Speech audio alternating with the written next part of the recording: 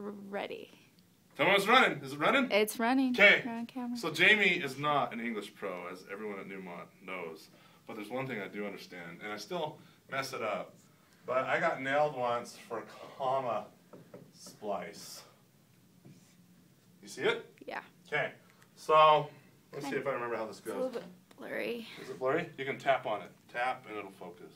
Okay. We good? Excellent. Yes. Okay, so Jamie ran to school, comma, he was tired. In fact, actually, I saw something on Facebook.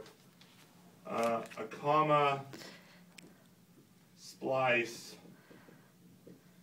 entered a bar, comma, um, it. Oh no, I just used a pronoun. Uh, ah! I shouldn't say the comma splice. It had. Uh, oh no! Oh no! I'm fine. The comma splice had a drink. Okay, so on the board here, the whiteboard here, we have four complete sentences.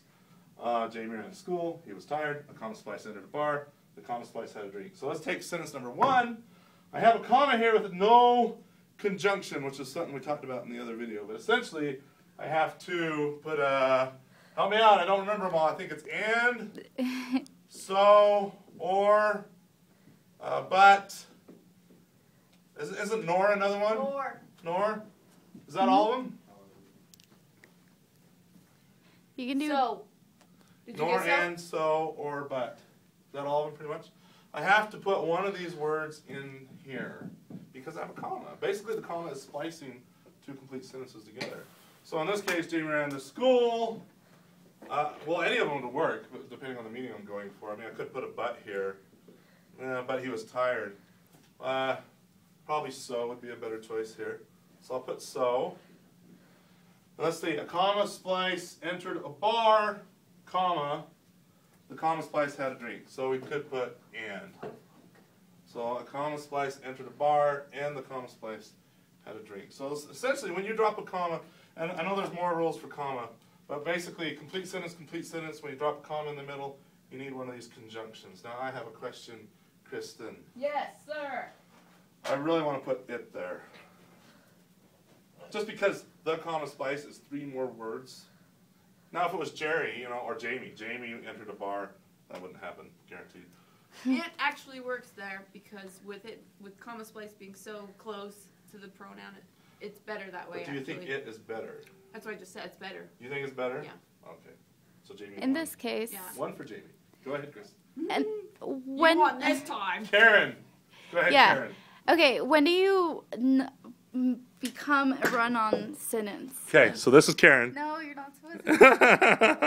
Come on, help me out. So run on sentence. when do you become a run-on sentence? When you're adding too many nor and so out, but all this.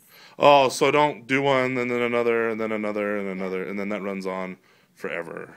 I think a lot of our students have a tendency to do long sentences, to use lots of words. Yep. Maybe One main idea per sentence.